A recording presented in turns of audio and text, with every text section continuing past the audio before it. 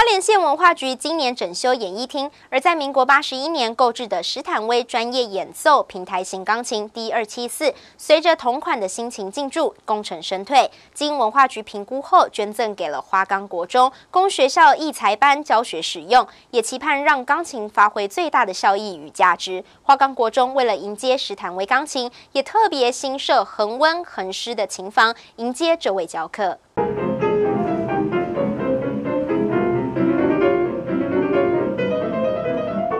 花莲县文化局演艺厅在今年做大规模整修，相关设备太旧换新，包含民国八十一年购买、使用超过三十年的旧型史坦威 D 二七四专业演奏平台式钢琴功成身退。经过文化局评估后，决定捐赠给花岗国中，供学校艺才班教学使用，并在花莲县文化局长张耀成及教育处长李玉仁见证下，正式捐赠一波花岗国中艺才班。从民国八十一年，花莲县文化局采购了这台，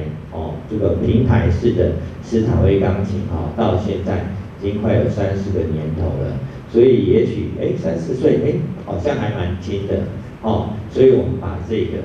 正值壮年的钢琴啊，去来送给大家，希望大家在音乐的练习下面能够如虎添翼哦，大家的在音乐的人生当中，因为这台钢琴啊，能够更丰富，学的就更。我们在去年十一、十二月就开始接洽这个事情，在今年寒假的时候就开始打造这个独立的空间琴房。那一直到呢，到上个上上礼拜五月八号，钢琴呢就是透过文化局那边帮我们移送到我们学校来。那之后呢，我们的保存就是每天呢，让它的湿度还有温度都是恒温恒湿，然后也希望有更多的学生，包括我们自己的学生，或者是花莲县更多喜欢弹钢琴的小孩。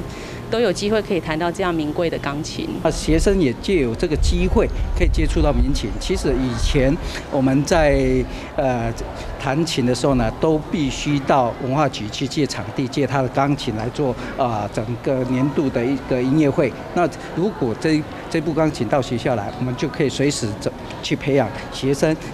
啊在呃音感啊或者是音乐啦啊的享受的部分呢，都可以有啊长足的一个进步。纯手工打造的史坦威钢琴，杰出的音色和用料在中古琴市相当保值。当时文化局采购市价近三百万元，二十八年后价格与价值不减。虽不适合专业演奏会使用，但情况仍然良好。师生得知后都相当兴奋，以迎接贵宾的心情筹备，并特别新设恒温恒湿琴房。编列预算，定期保养维护，期盼借由这首屈一指的民情，邀请更多杰出音乐家指导学子，提升花莲学子的学习及参赛的演出表现。记者蒋邦彦，花莲市报道。